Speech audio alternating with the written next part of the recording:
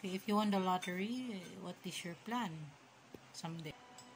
I'm going to open my own restaurant and open and also build a hospital for the people.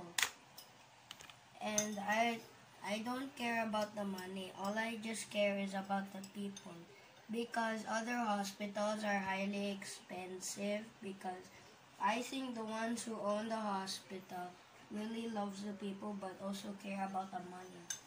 Which money won't give you happiness at all. Nothing can give you happiness with money.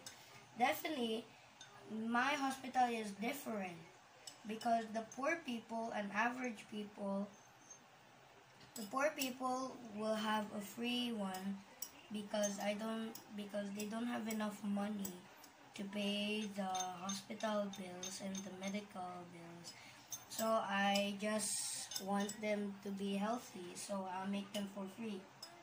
But for the uh, rich, uh, it's highly expensive because, of course, they're the rich. And if they're rich, they need to pay a lot. And yeah, that's it. And the real happiness is that it's not about just the money.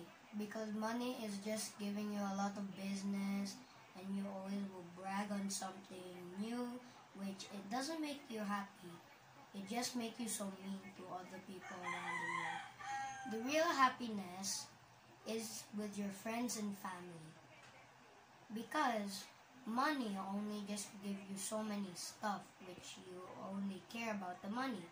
Which really matters is the people that who when you were a child, your parents always take care of you because they love you.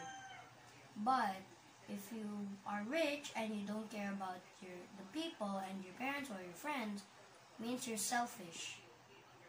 And you'll never be a good guy in the future. Because something bad will happen to you. Like you got bankrupt because you're so mean.